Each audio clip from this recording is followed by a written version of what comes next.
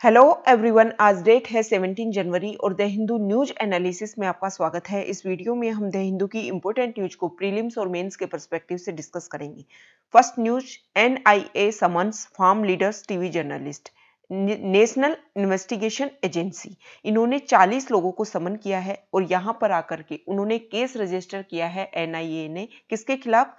Sikh for justice group के खिलाफ। ये सिख फॉर जस्टिस जो ग्रुप है, वो फॉरेन बेस्ड ग्रुप है और ऐसा लगता है एनआईए को कि वो सपोर्ट करता है प्रो खालिस्तानी एक्टिविटीज़ को भारत में। ये प्रो खालिस्तानी एक्टिविटीज़ क्या है? पंजाब वाला जो रीजन है ना, वहाँ पर वो लोग ये चाहते हैं कि पंजाब को एक अलग से देश डिक्लेयर कर दिया जाए खालिस्तान के नाम से। तो एनआईए नेशनल इन्वेस्टिगेशन एजेंसी को ये लगता है कि सिख फॉर जस्टिस जो ग्रुप है, वो सपोर्ट करता है इन एक्टिविटीज़ को। और ये जो 40 लोग हैं, वो उन्हीं एक्टिविटीज़ से रिलेटेड हैं। अब इन 40 लोगों में जो जिन लोगों को समन किया है, वो फार्म लीडर है टीवी जर्नलिस्ट है केबल टीवी ऑपरेटर है tourist bus owner an actor sweet shop owner other businessman ये सारे लोग हैं। और दिल्ली में इनको एनआईए ने प्रेजेंट होने के लिए बोला है 18 से 21 जनवरी के बीच में। अब देखो, हमारे एग्ज़ाम के पॉइंट ऑफ़ व्यू से इंपॉर्टेंट हो जाता है नेशनल इन्वेस्टिगेशन एजेंसी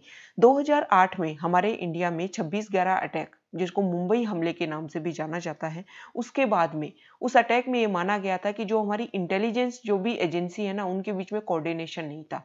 तो उनके बीच में कोऑर्डिनेशन करने के लिए और टेरर अटैक्स से फ्यूचर में जो भी टेरर अटैक्स हों, उनसे बचने के लिए नेशनल इन्वेस्टिगेशन एजेंसी का गठन किया गया था। ये जो नेशनल इन्वेस्टिगेशन एजेंसी है, वो मिनिस्ट्री ऑफ़ होम अफेयर्स के अंडर आती है।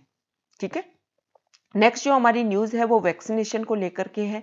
कल 16 जनवरी को हमारे इंडिया में वैक्सीनेशन प्रोग्राम स्टार्ट हुआ और हमारे इंडिया में दो vaccine Serum Institute of India की कोविशील्ड और भारत बायोटेक की कोवैक्सीन दोनों को अप्रूवल मिल गया और वैक्सीनेशन प्रोग्राम स्टार्ट हुआ। तो हमारे पीएम ने बोला है कि जो वैक्सीनेशन प्रोग्राम है, वो सेफ़ है और जो भी रूमर्स फैलाए जा रहे हैं, उनको इग्नोर करना चाहिए। पहले ही दिन एम्स के चीफ मिस्टर गुलेरिया और नीति आयोग मेंबर। इसके अलावा सीरम इंस्टीट्यूट ऑफ़ इंडिया की जो सीईओ e हैं, अदर पुनावाला, उन सबने ही पहले ही दिन वैक्सीनेशन करवाया है खुद का।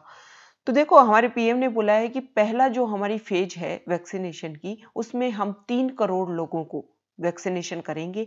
बहुत सारे इंडिया, वर्ल्ड में ऐसे देश हैं, सौ से ज़्यादा ऐसे देश हैं जिनकी पूरी पॉपुलेशन ही तीन करोड़ नहीं है। लेकिन हमारे इंडिया में पहले ही चरण में, पहले ही फ़ेज़ में तीन करोड़ लोगों का वैक्सीनेशन किया जाएगा। जो नेक्स्ट फ़ेज़ होगा सेकंड फ़ेज़ होगा, उसमें ये जो संख्या है नंबर है, वो थर्टी करोड़ जाएगी। तो देखो, इस आर्टिकल में बताया गया है कि ये जो वैक्सीनेशन है, बहुत सेफ़ है, बहुत सारे प्रोसीजर के बाद में वैक्सीन को बनाया गया है। इसलिए जो भी रूमर्स फैल रहे हैं कि बहुत फटाफट बिना कहीं एफिकेसी डाटा के थ्रू इसको बनाया गया है तो ऐसा नहीं है। सेफ़ है और सेफ़ होने के बाद में ही इसको इंट्रोड्यूस किया गया है। दिल्ली में पहले ही दिन चार हज़ार तीन सौ उन्नीस हेल्थ वर्कर्स को पहले ही दिन क्या मिला है? वैक्सीनेशन प्रोग्राम के थ्रू उनको वैक्सीनेशन करवाया गया है। देखो, ये जो वैक्सीनेशन प्रोग्राम है, वो पूरे वर्ल्ड की अगर बात की जाए तो इतने बड़े लेवल पर सिर्फ़ इंडिया में स्टार्ट किया गया है। नेक्स्ट जो न्यूज़ है वो व्हाट्सएप को लेकर के है। व्हाट्सएप ने अपने कुछ ही आ, मतलब जो पॉलिसी है उनमें चेंजेज करने के लिए प्रयास किया है।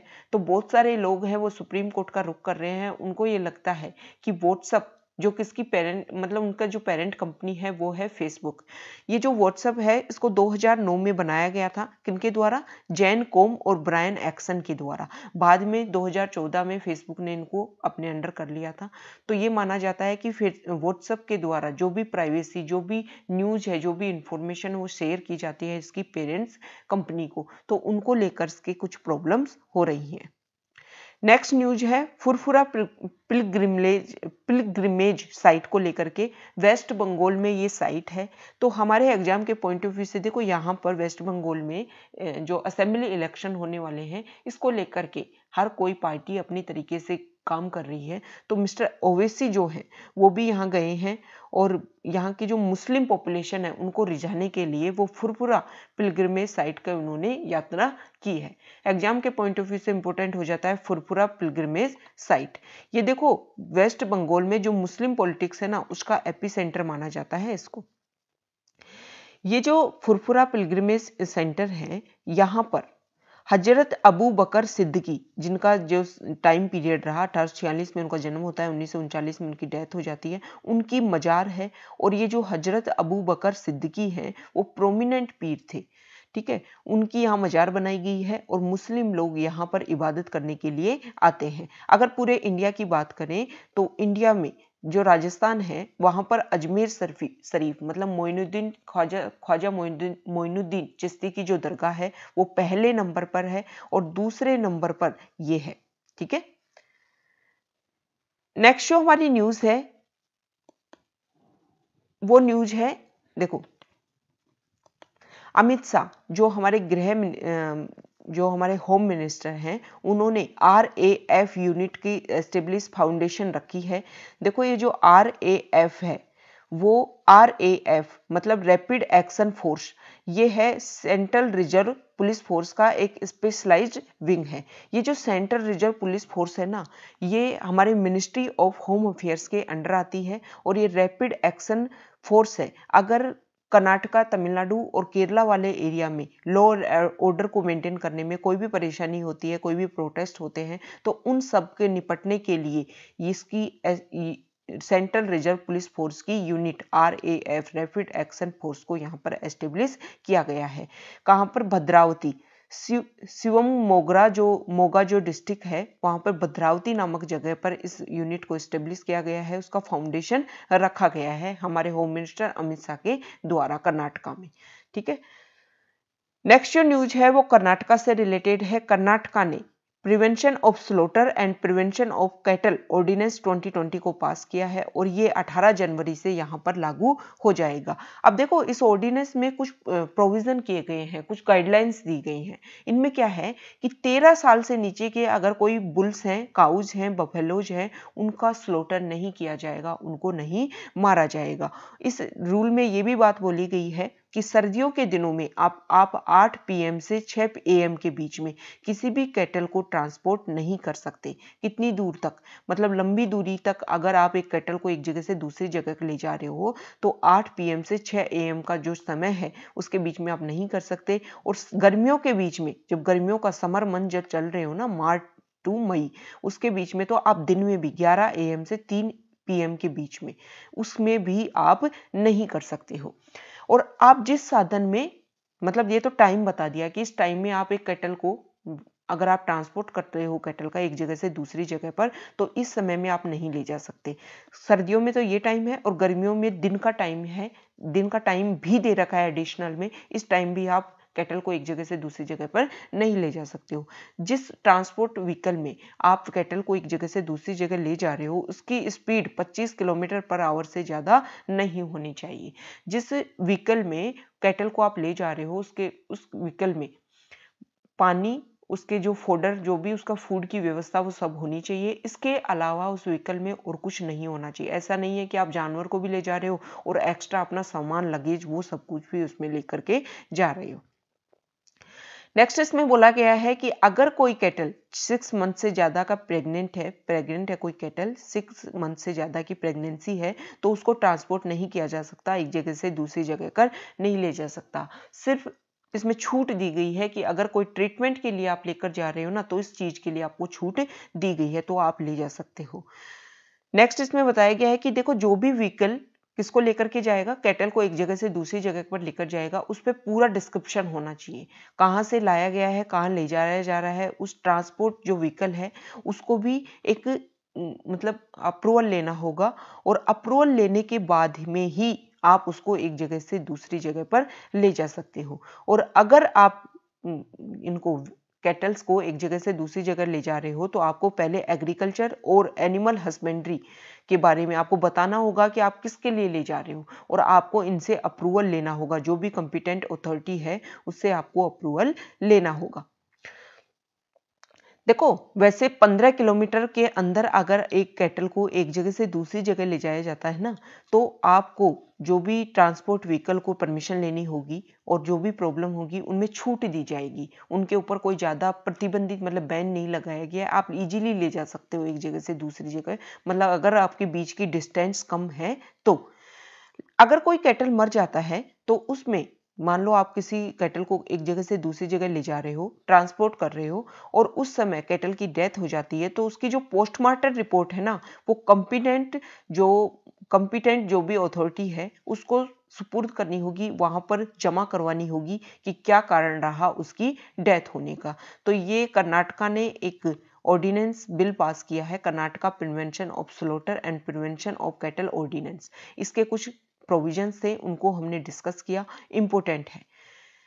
नेक्स्ट जो हमारी न्यूज़ है, वो डीजीसीए को लेकर के है। देखो डीजीसीए जो पोस्ट है, वो मिनिस्ट्री ऑफ़ सिविल एविएशन के अंडर आती है और इन्होंने करनूल में करनूल में एक एयरपोर्ट को अप्रूवल दिया है, उससे रिलेटेड ही ये न्यूज़ है। नेक्स्ट जो न्यूज़ है, वो इंडिया और नेपाल रिलेशन को लेकर के है। नेपाल के फॉरेन मिनिस्टर मिस्टर गयावाली हमारे इंडिया में तीन दिन की विज़िट को लेकर के थे। यहाँ पर बहुत सारे पॉइंट्स पर हमारे यहाँ डिस्कस हुआ स्पेशली स्पेशली जो बॉर्डर डिस्प्यूट जो चलता जा रहा है, उसको लेकर के। बॉर्डर डिस्प्यूट में कालापानी लिपुलेख और लिम्पुदुरा जो जगह है, उनको लेकर के स्ट्रेस चल रहा है। तो इंडिया और नेपाल ने अच्छे से बात की और इस चीज़ को रिजोल्व करने की कोशिश की।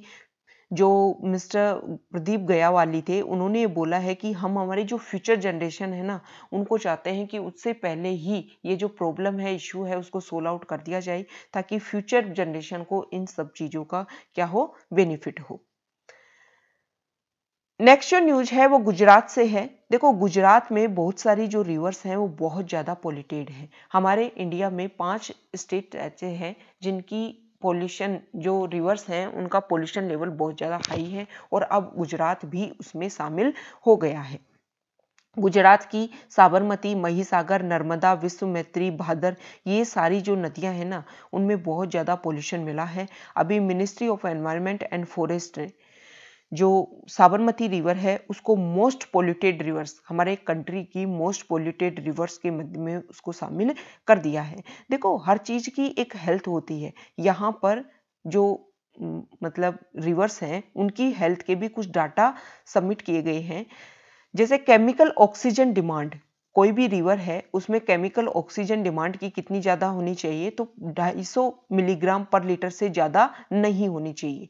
250 मिली 250 मिलीग्राम पर लीटर से ज़्यादा नहीं होनी चाहिए। अगर इससे ज़्यादा है केमिकल ऑक्सीजन डिमांड ये जो चीज़ है कि किसी भी नदी में कितना ऑर्गेनिक पोल्यूटेंट लोड है, उस चीज़ को इंडिकेट करता है तो ये लिमिट है और ये जो और नदी है जो गुजरात की नदियाँ हैं, उसमें केमिकल ऑक्सीजन डिमांड का जो लेवल है, वो 700 से हज़ार मिलीग्राम पर लीटर तक है।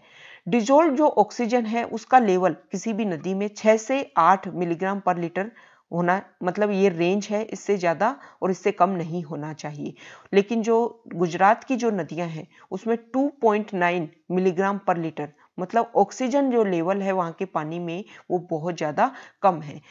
देखो, गुजरात में बहुत सारे जो सिटीज़ हैं, जैसे अहमदाबाद है, वडोदरा है, खेड़ा है, राजकोट है, ये इंडस्ट्रियल डिस्ट्रिक्ट हैं और यहाँ से बहुत ज़्यादा पोल्यूशन निकलता है और इन पोल्यूशन को बिना ट्रीट किए ही डायरेक्ट नदियों में छोड़ दिया जाता है, जिसकी वजह से इन नदियों में पोल्यूशन लेवल बहुत ज़्यादा बढ़ रहा है।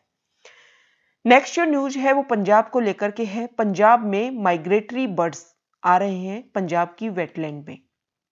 वहाँ की वेटलैंड के बारे में बताया गया है। देखो हरी के जो वेटलैंड है तो हमारे लिए इम्पोर्टेंट हो जाता है वेटलैंड 1971 में ईरान जो देश है, उसके रामसर रामसर एक शहर है, वहाँ पर वेटलैंड को प्रिजर्व करने के लिए कंजर्व करने के लिए वेटलैंड जो कन्वेंशन हुआ था 1971 में। उसके बाद में ये वेटलैंड जो कन्वेंशन हुआ था उसको रामसर कन्वेंशन के नाम से ही जाना था, जाता है। हमारे इंडिया में बयालीस वेटलैंड हैं और साउथ एशिया की बात की जाए तो सबसे ज़्यादा वेटलैंड है। वेटलैंड मतलब दलदली भूमि जहाँ पर मिट्टी भी हो और पानी भी हो। सबसे ज़्यादा बायोडाइवर्सिटी है वो इसी एरिया में पाई जाती है इसलिए वेटलैंड को जो कंजर्व करना है वो बहुत ज़्यादा ज़रूरी है। सबसे ज़्यादा वेटलैंड पूरे विश्व की वर्ल्ड की अगर बात करें तो मैक्सिको और यूके में है। इंडिया में 42 साइट्स हैं वेटलैंड की और अब इंक्रीज कर दिया गया है, पहले सैंतीस थी, अब 42 टू हो गई हैं और साउथ एशिया में सबसे ज़्यादा है। देखो, जो अभी हमने गुजरात को डिस्कस किया, गुजरात की रिवर्स में पोल्यूशन तो यहाँ पर एक centre pollution control board terms जो है वो इम्पोर्टेंट हो जाती है। Centre pollution control board term मतलब सेंटर पोल्यूशन कंट्रोल बोर्ड को उन्नीस सौ चौहत्तर में वाटर एक्ट के अंडर इसको बनाया गया था। इसका जो हेडक्वार्टर है वो न्यू दिल्ली में है और श्री शिवदास मीणा वर्तमान में इसके हेड है। देखो पोल्यूशन को कंट्रोल करने के लिए जो भी गाइडलाइंस हैं, जो भी प्रॉब्लम्स हैं, उन सबको सोल्व करने के लिए इस बोर्ड का निर्माण किया गया था। तो ये आज का हमारा डिस्कशन था। कई इंपॉर्टेंट टर्म्स को प्रीलिम्स और मेंस के पर्सपेक्टिव से हमने डिस्कस किया। Okay thank you